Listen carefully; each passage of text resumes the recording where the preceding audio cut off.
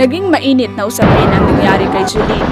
Nasugatan siya sa isang labanan sa Alegria, Surigao del Norte noong 16 ng Pebrero 1999. Para naman na nag-iwan lang sila ng parang aso na imbis kay kami yung magkasama-sama, iniwanan man lang nila. Labing tatlong taong gulang noon si Jeline nang sumama sa NPA. Marating Kaya kay yung baryo namin, palagi nandoon na ang mga na Dito natutuhan ni Jeline ang mamuhi sa pamahalaan.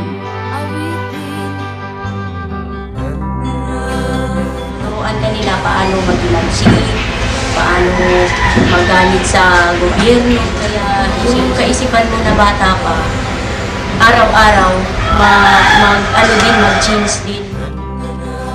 Subalit, hindi madali para sa isang batang babae ang mamundok. Hanggang nga, wala ko'y paglaom sa akong kinabuhi awas. Nabuol na ko, hindi na ko makita sa ginikana. Talagang yung kuang pag, parang walang kain-kain. Sa loob din ng organisasyon, nabuksan ang kanyang isipan sa tunay na layunin ng CPP-NPA.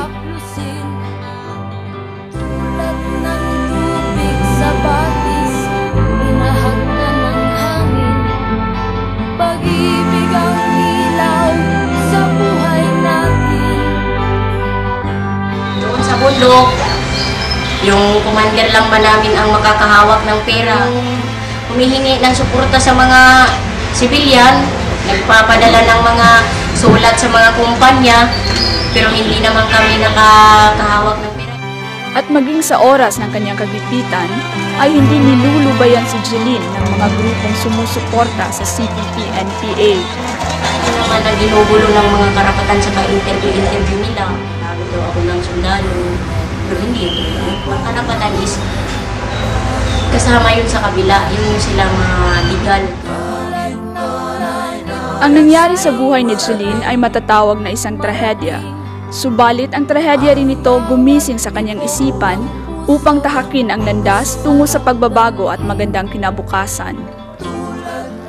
Ang mga pangyayari nito ay pilit pinagtatakpan ng ibang tao sa pamahalaan. Sa pagkakahuli sa batang rebelde na si Edfo de la Cruz, ito ang naging pahayag ng isang kilalang mambabatas. Pagkagan na agad din sinang-ayunan ng mga grupong kumakalaban sa pamahalaan. Hindi lingid sa lahat kung ano ang tunay na layunin ng mga tao at grupong ito.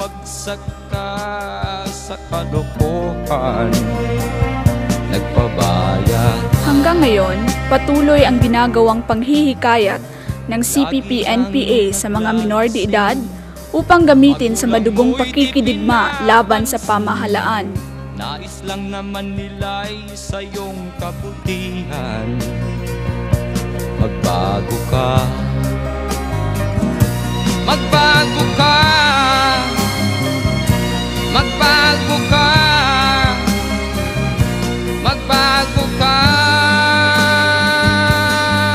Patuloy din ang kanilang paggamit sa mga inosenteng kabataan sa labang hindi pa nila nauunawaan.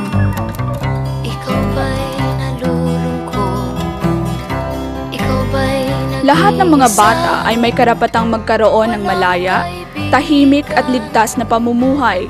Sila ay dapat na pinagkakalooban ng tamang pagkalinga at gabay para sa kanilang magandang kinabukasan. Pag-iisip mo'y nagugulo Sa buhay na Wala pong tahantong na maganda. Buhay mo lang nakataya. Po ang patakaran po sa taas. Tapos papasok po po yung kaibigan ko doon. Pipigilan ko na po. Ito naman po talagang gusto sumama sa inyo. Napilitan lang ako.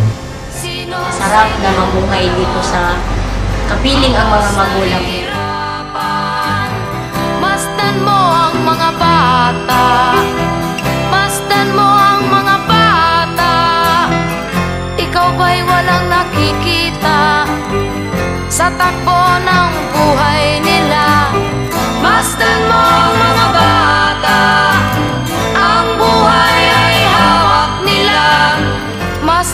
ang mga bata Ang sagot ay yung makikita